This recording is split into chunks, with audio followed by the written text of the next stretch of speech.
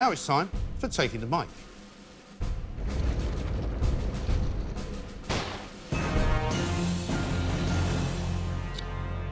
The police are never very far from the spotlight on the independent republic, sometimes for good reasons, but unfortunately more often for bad ones. Today's lesson in policing comes from Bethnal Green East, a section in the East End of London looked after by the Metropolitan Police. It may come as no surprise to you that levels of crime in the area have now broken new records in recent months, with violence and sexual offences as high as they have ever been. Looking at this graphic of how the police are dealing with the crime wave, you can see where the problem is.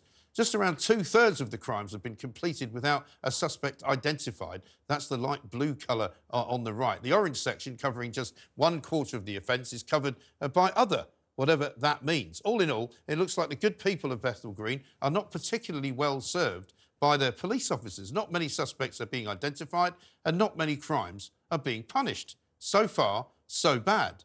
But what could be the reason? Are the individual police officers busy doing other things? Catching people driving at over 20 miles per hour? Preventing gospel preachers from spreading the word of the Lord? Threatening people on social media with arrest if they tweet about trans women?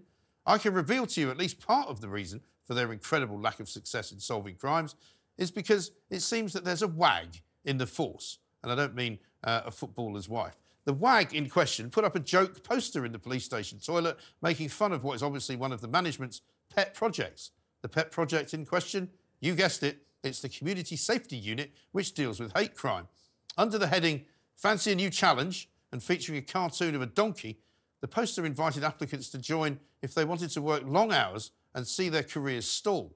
It added, with us, you could learn how to NFA, which actually means take no further action against the suspect, with your eyes closed. Now, as you might expect, the management didn't see the funny side of it at all. They have removed the offending poster and are now conducting an investigation to find the culprits. Even the Met's Directorate of Professional Standards has been called in. But what are the chances of them catching uh, the criminal? Judging by their record, it will be another NFA. And you know what that stands for? It's a real crime.